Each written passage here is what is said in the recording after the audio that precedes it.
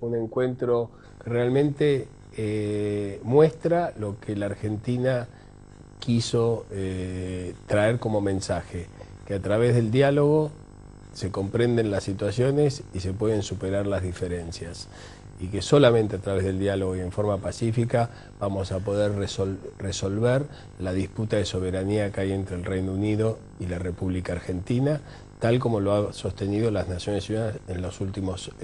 40 eh, resoluciones. Creo que la actitud de los parlamentarios británicos fue muy positiva, eh, creo que ellos eh, tuvieron una actitud muy abierta. Creo que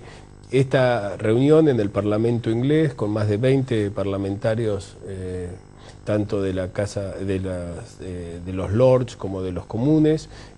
muestra un poco que es posible el diálogo, que es posible resolver la situación en forma pacífica y que la Argentina no va a dejar nunca de insistir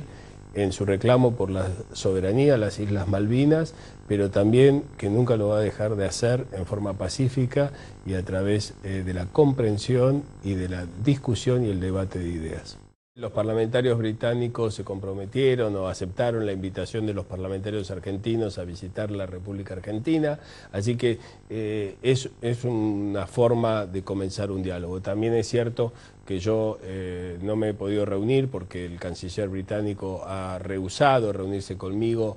como habitualmente lo hacen los cancilleres en forma bilateral, pero yo le he dejado una invitación para que visite nuestro país donde podrá apreciar la eh, democracia, eh, el respeto por los derechos humanos, el respeto por la diversidad de opiniones y donde él podrá mantener reuniones eh,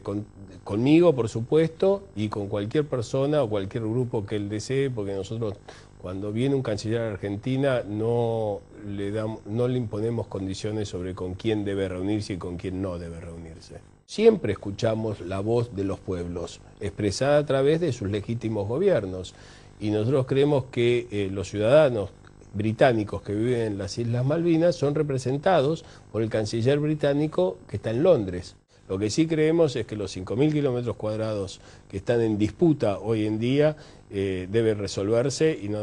no deben eh, seguir dilatando el diálogo o poniendo excusas sobre quién debe estar sentado en la mesa o no. Deben estar sentados en la mesa los representantes del gobierno de la República eh, Argentina y del Reino Unido. Realmente había un clima de, interés en dialogar, en comprender la posición de ambas partes, en expresar la, posición del Reino Unido. Creo que realmente han, demostrado eh, que, el diálogo no solamente es posible, sino que es necesario y que estamos